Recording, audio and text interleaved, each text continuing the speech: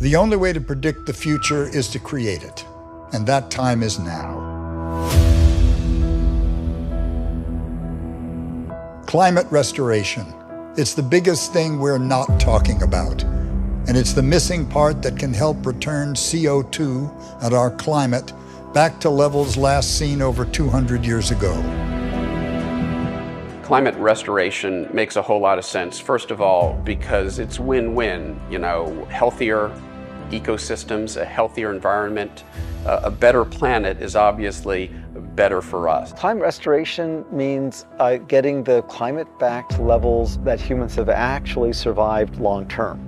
We've always had the information needed to save the climate. All we had to do was less of what we are doing. But we didn't. We did more and more until we got to where we are now. Achieving net zero is an essential step, but it won't save us from the ever-growing climate catastrophes. It's clear events are overtaking us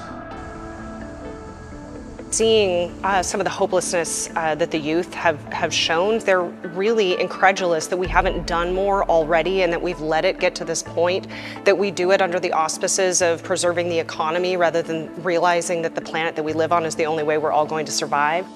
People suffering the most from climate change usually have the least to say in charting the response well-meaning people come in with, we have all of the answers.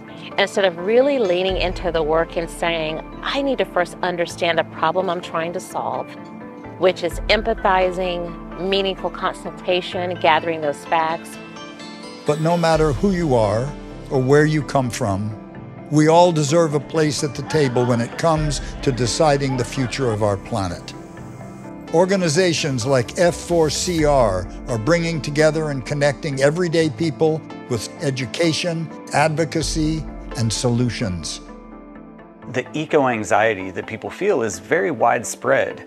And uh, what alleviates that better than anything is taking action. It was like a nickel dropped, and I got that we can do it. It's like the moonshot.